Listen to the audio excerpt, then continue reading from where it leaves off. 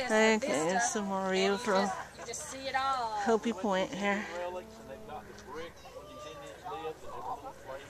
It was really neat. It was called